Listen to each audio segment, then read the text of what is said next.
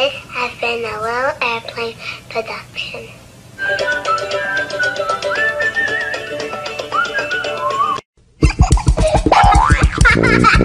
Thank you.